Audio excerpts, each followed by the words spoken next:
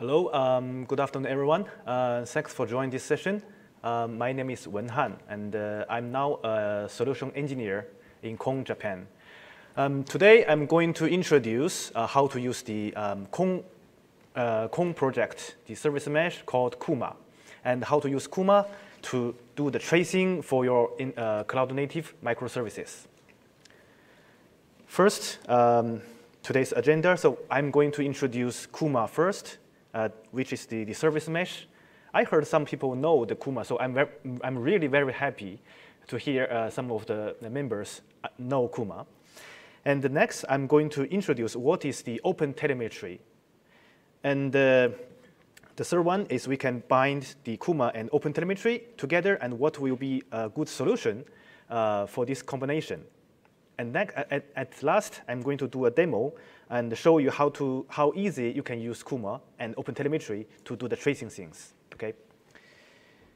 First, um, uh, let me do a quick introduction, uh, a quick introduce for myself. Uh, my name is Wen Han, and uh, I am a, a developer, um, and, and I also have done with the technical support and right now, I am the uh, solutions engineer, which is the, the pre-sales roles in uh, Kong, Japan. So if you have any questions or you, you want to have some um, comments uh, on my uh, slides or, or uh, so feel free to leave me a comment on the uh, Twitter or the X or drop me a mail, okay? Thank you very much. So first, um, the topic is what is Kuma? So so these are the, uh, the famous kuma in Japan. So, so you can see the, the, the, the most famous kuma, which is called Kumamon in the South Japan. And we have the uh, Beware of the, the Bear in the North Japan. And the most famous kuma in the One Piece, the anime. And we have the another kuma called um, Kuma the Service Mesh Okay, so Kuma right now it is a, a CNDF, a CNCF uh, sandbox project, which was um, developed by uh, Kong, um, the, the, the, company. And uh, today I'm going to introduce uh, the Kuma, the service mesh part. So, um, so the first let's talk about the uh, network design patterns for the cloud native things. So at the very first, uh, when, I, when I was a software developer, um, we, I built a very um, big uh, monolith applications, and the application will provide some features which are exposed by one API. And the one API, we, we can use the uh, only one API gateway to expose it. This is the very traditional way.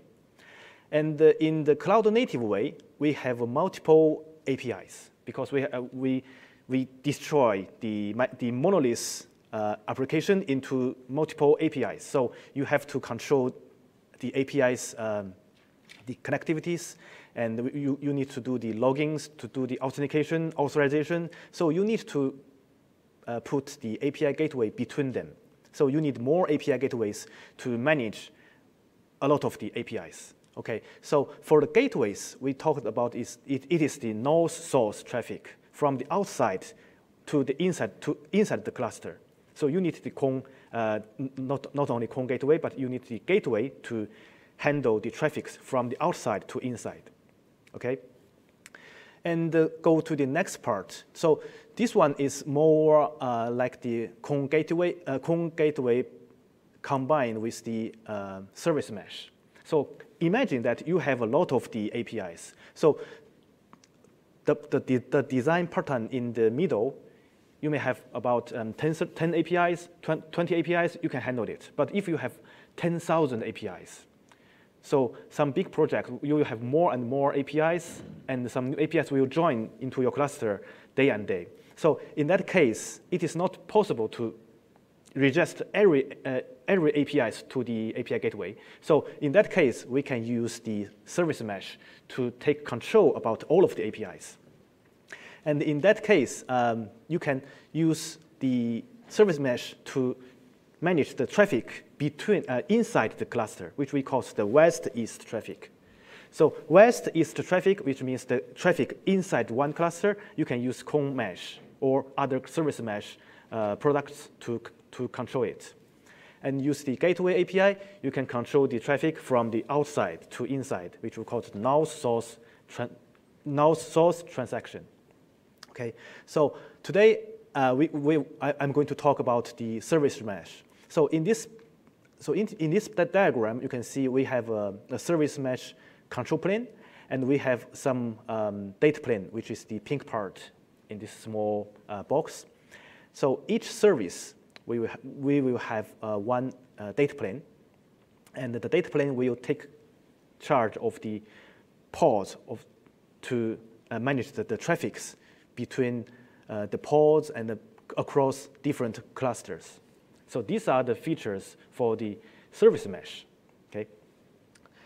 So let's go deeper about uh, how you can use the service mesh um, more smartly. So in the control plane, we can uh, what we can do is we can do the configurations to send the to send some new uh, configurations to the um, data plane proxies. And we, in the control plane, we can also set some policies, which you can add some new features. Uh, for, for example, you can you add some um, zero trust net networking. You can add some logging. You can add some um, uh, rate, rate limiting to control the traffic. You, you, can use this one, uh, you, you, can this, these features as a, a policies in the control plane, and then the control plane will put the settings into the data plane. Okay, and the next one is the monitoring. The control plane will see, will take control about the, the whole cluster. So every cluster uh, which are sending the traffics will report the metrics informations or the logging informations to the control plane. And then the control plane will expose this feature, uh, will expose these loggings, these metrics informations to a third-party platform like Prometheus or like um, Datadog or like some um, ELK, extra, extra okay? And for the operation point of view, uh, the users, which is the administrator, can control, uh, can access to these control planes and uh, doing some um, configurations or uh, apply some new CRDs or uh, using the directly uh, in API endpoint to take control about the um, control planes, okay? So this is the overview about what is the service mesh, okay? okay, so next one is uh, the Kuma. So, so, Kuma is one of these ser service mesh. So, so everyone know there are there is a lot of um, there are a lot of other uh, service mesh like Istio and uh, Envoys, some things like that. And um, I think maybe some of you may have some questions. So so compared to the uh, Istio, what is the good part for Kuma? Blah blah blah. So. Uh, for my per personal point of view, I think there's no um, a good part of good, bad, uh, some black and white things. I think uh, every Istio uh, every service mesh products has its own um, features, some good points. So there is no best service mesh products, but the uh, most satisfied for your environment. Okay, so so back to the Kuma part. So so when you are not using the service uh, the service mesh and you are going to deploy some new uh, applications, so example, you can you, you, you, you have two services, and the services need to um, communicate with each other. And um, so in the real world development case, you, have, um, you, you, may have different teams for each service, okay? And uh, when the teams A building the service, the team's member needs to, to think about uh, what I can do, uh, what I should do for the logins, and what I should do to, to keep the safe for my endpoint to, to to expose only the safe APIs and do the authentications and uh, some rate limitings, some things. So every developers, when they are developing their APIs, they must think about the common issues every developer will, will met. And with the Kuma, with, uh, or with the service mesh, the developers can only focus on their development about the main, the, the, the, core features about their APIs. So for the other things, you can let Kuma's sidecar to do it. So Kuma will take control about the, the, uh, the logins, the authentications, the, rate, the rate limitings, and the other um, common tasks. And you can, you can put these layers up to uh, upper, and you can put the common tasks in the service, service mesh layer.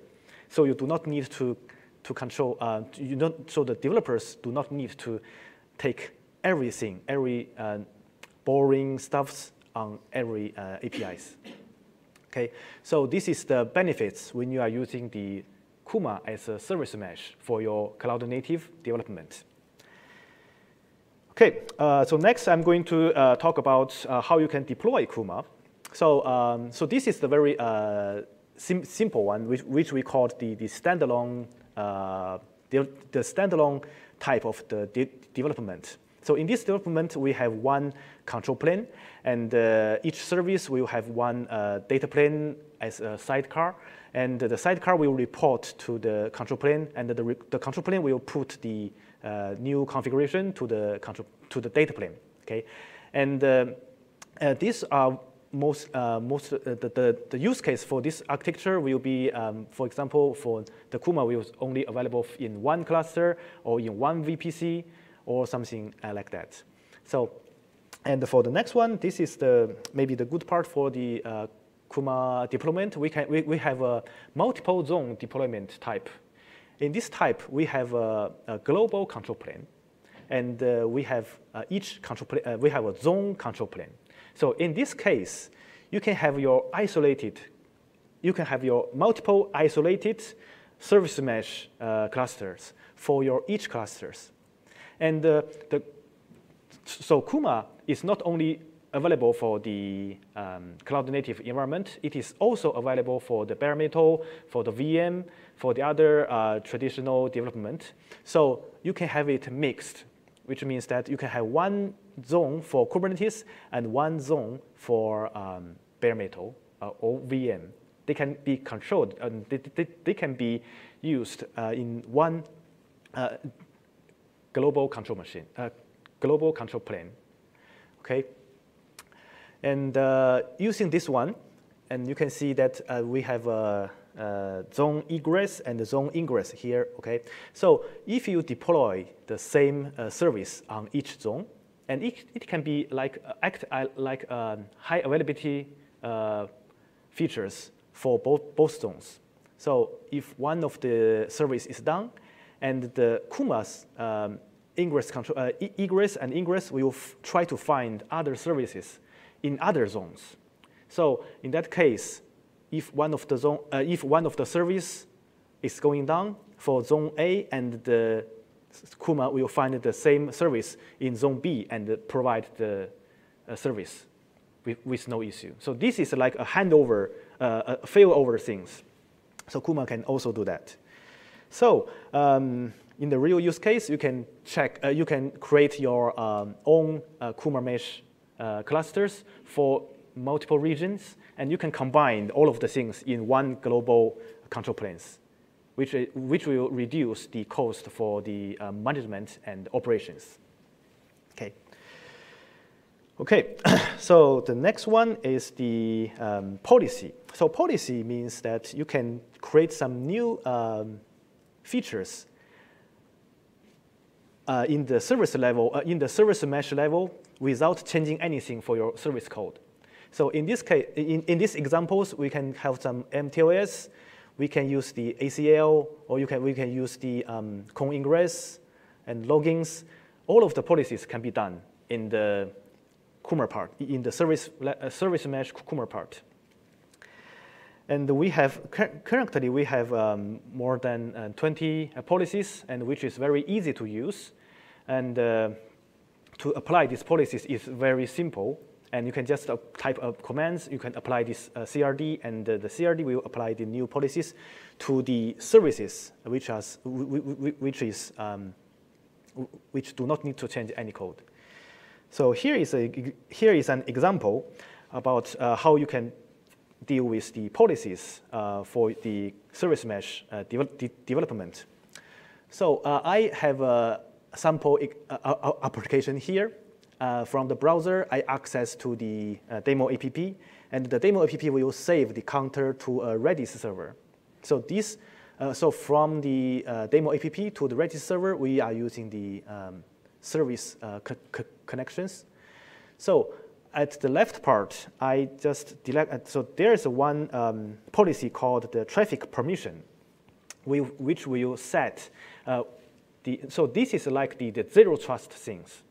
So uh, we, if I delete these rows, and you can see from the right side, the demo app cannot connect it to the Redis server, which means the policy is applied to the control plane, and the control plane will push the settings to the data plane. And the data plane see, okay, I don't have any policies. I don't have any uh, permissions uh, for these two services. So the access is going down.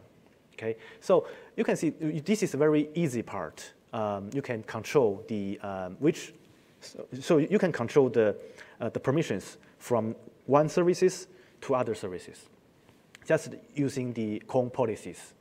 Okay. Okay. so this is for the the Kuma part. For the next one, I'm going to introduce the what is the open telemetry.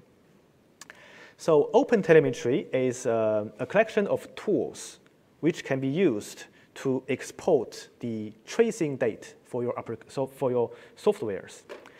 And uh, the red part is the, an example for the, uh, for the for one applications. You can see uh, for the uh, so this application will cost about uh, 70 uh, milliseconds.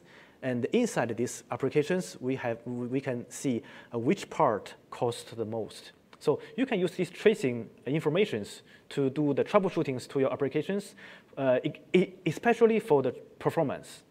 So sometimes you, you, you sometimes you, you, may think that the uh, your performance, your application's performance is going a little bit lag, or some de delay happens, and you want to see which part I, I need to change and which part is having some issues. We see with the open telemetry tracing informations, you can easily address uh, which part is having some issues, okay? And uh, yes, use this okay, so that, that, that's it. So that, this is a part for the open, tele open telemetry. So next one is to, to combine the Kuma and the open telemetry to, together. So what will happen when you are using the Kuma and the open telemetry? So imagine there's, there's a real world use case. You have a very complex uh, cloud native systems.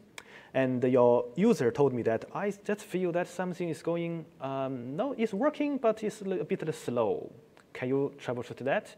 So in this kind of very big uh, cluster and very uh, complicated uh, applications, it is very hard to address which part has some issues. So for the traditional way, you may need to see the logs or uh, also check the, the, the, the T-Shark the net, the Wiresharks to see the packets from here and go to there. So I did that before when I was a support engineer. So it is, uh, it is, it, it is a nightmare to see the traffic, uh, to see the traffic from here to that part and to see uh, from this interface to that interface. And I can, I can address, okay, here is the performance issues. And uh, with the Kuma and OpenTelemetries, you can very easy to uh, see uh, which part has issues because we, we can see the, the span, uh, we can see the tracing informations inside your applications. Then you, we, we can di di directly see which part has some issues, okay? So that is the good part for using the Kuma and the OpenTelemetry. So using the tracing in Kuma, is it's very simple. We are using a CRD called the, the mesh trace part. So you can create a mesh trace and see uh, and set and configure that which um, uh, this one is the so yeah yes this is the which mesh you want to output the tracing date. So by default it is called the default. So we so you can have mul, mul you can have multiple uh, service mesh right in different zones and in, in here, you can set, I, I want to output the traffic, tracing traffic from the default zones. And you can set the, the, information here. And if, let's going down. So the spec is, uh, this is a mesh. And by default, uh, no, I'm sorry. So the default is, the backend for, for default is the open telemetries. And here, yes, this is the important part. So the endpoint is the OTEL collector um, which is the open telemetry collector for this mesh tracing. So it is not directly send the tracing data to the uh, to a platform like um, the, Splunk, the Splunk or like uh, New Relic or something like that. So are, we are using an open telemetry collectors to collect the tracing data first and then send the tracing data to the vendors. Okay? So why we are doing that? Because uh, the collectors have some new um, benefits for you to use because uh, when um, you have multiple uh, tracing parts, and so you want to output multiple uh, zones tracings to one uh, vendors, you can use the, uh, the OTL collectors to collect all of the informations into one collector. So you can reuse the open telemetry collect collectors in, in this way. And next, the open collectors, uh, the open collector has the ability to send the tracing data to different ven vendors, Honeycomb, Jaeger, and um, New Relic. So it has the ability to um, do it very uh, smartly. So I'm going to show how to, how to configure this uh, OTLE collectors later. Okay. So for the demo part, so today I'm going to create uh, some microservices and apply, uh, and I, I, will show you how to apply the Kuma service mesh to it. And then I'm going to create a mesh tracing policy for my Kuma service. And the mesh tracing policy will send the open telemetry, uh, open telemetry informations to the OTEL collectors, and OTEL collectors will send the data to the OTEL backend, which I'm using the Honeycomb for, for, for this demo, okay? Okay, oh, I think this is the end for my slides. So I'm going to show you uh, what is my demo environment. So first, let's see. Um, okay, so first I'm going to show the, so let's see the collectors. Uh, OTL, collectors, honeycomb, okay. So this is the um, open telemetry collectors. Uh, the most important part is at here. So the endpoint, I'm point to the honeycomb as the open telemetry endpoint, and I will uh, send my API keys to it. So, be, so don't worry, I will delete this key after these sessions, so no worries. And uh, actually, you have uh, with these um, collectors, you can do more things. For example, you can do some patch workings for your tracing informations. And you can have uh, multiple um, port. Uh, and here you can, you, you, can have a gRPC uh, port to receive the OpenTelemetry date, and you can have the HTTP port to receive the, HTTP, the OpenTelemetry date. Okay. Is it e e easy to use, to see? Okay. Okay, so for the next one is I'm going to show, uh, okay, so for the next one, I'm going to create a new applications and uh, make it joined to the service mesh cluster. So first one, let me see. I'm going to create uh, a namespace called Mesh for Devs. Okay. So this is the, I'm going to in, uh, install the applications in this, uh, in this namespace. So before that, I'm, uh, so if you want to add some new applications to, uh, to Kuma Service Mesh, what you need to do is just to label it. Okay, so label it uh, with the namespace. Uh, I'm going to call the mesh for devs. So, um, oh, I'm sorry, devs, dev, okay, the typo. So, um, because I just add a new level, which is called the sidecar injection equals enabled.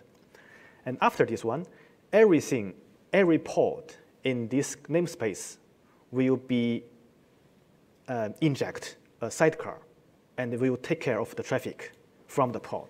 Okay, okay. Let me uh, do for the next one is we have a Kuma uh, for devs, and uh, I will apply the k um, hash k. Okay, so this is the okay. I will create some things. I will I create um, two services and two de de two deployment. Um, okay, so this is um, this can be uh, see at here uh, get uh, all in this uh, mesh for devs. So you can see the the pod. We there are two containers in, in this pod. One of them is the um, applications, and one of them is the sidecar, the Kuber, uh, the service mesh sidecar. Okay, So um, next, I'm going to um, expose these uh, applications to outside. So for that, I'm going to use um, to I'm going to use uh, ingress for it. So ingress will expose these work applications to outsides. So I'm using the Kong ingress controller, by the way. So just very easy to apply this one. Um, apply this ingress. Okay. Uh, now I have uh, pods and now I have service and I have ingress to expose this one. So let me try to access to it.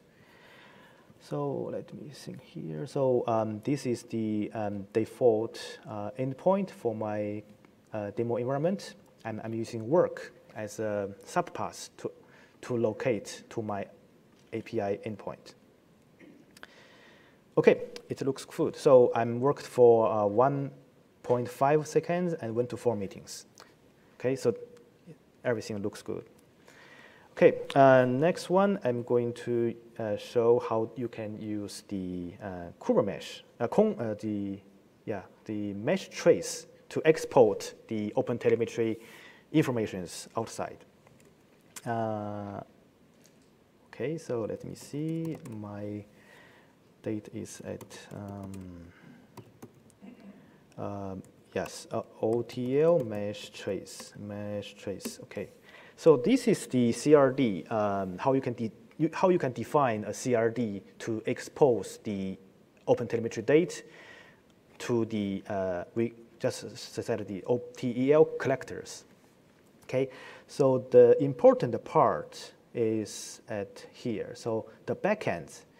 So currently I'm going to use um, the OpenTelemetry state as a backend. So the OpenTelemetry, I'm going to use the OTEL collector.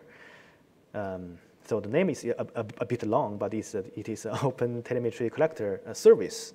So I'm so uh, Kuma will send the OpenTelemetry date to this endpoint.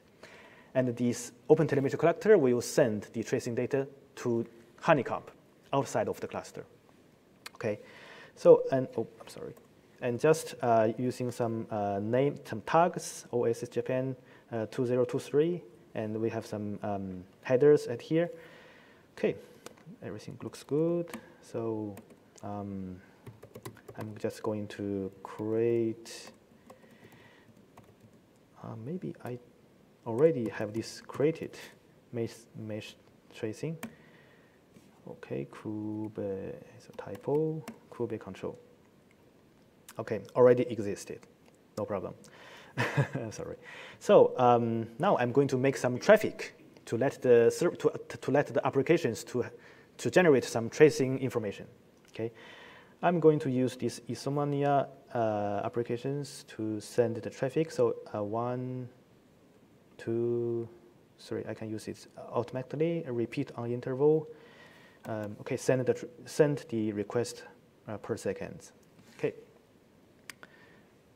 Okay, it comes a little bit uh, lag, but it's okay. I think I already collect some of the informations. Okay, from the uh, so yep, this is the honeycomb of the endpoint for the uh, application. Uh, for, for um, sorry, for the OpenTelemetry uh, information. And for the date part is called the meeting. Yeah, the meeting here. I can see we have some tracing here. Yep. So see the details for this tracing. You can see that uh, my application cost one second. And uh, I have four uh, sub-process which are going, which takes um, uh, 250 milliseconds for each. Okay, so you can see uh, my application is working well because I went to four meetings. So these are the four meetings for my applications. Okay, so each meetings will cost me about 25, uh, 250 milliseconds, and for my day, I cost one seconds to go four meetings. So with this uh, example, you can see um, this is a very easy part for you to expose your application open telemetry state to the other point. Okay, so I'm using the honeycomb for my uh, endpoint, and beside of this one, you can have other uh, OpenTelemetry endpoints like Jaegers or um, the ELK or some uh, New Relic. Yeah, this is the uh, open, uh, open source standard, so you can choose whatever you want, okay? Okay, um, so this is, this is my backup just, for, just, just, just in case my demo went wrong. Okay, um, thanks, thanks for listening. So this is all I have uh, for, my for my presentations. So do you have any questions want to discuss? Okay. No problem. okay. Thank you very much. Thank you.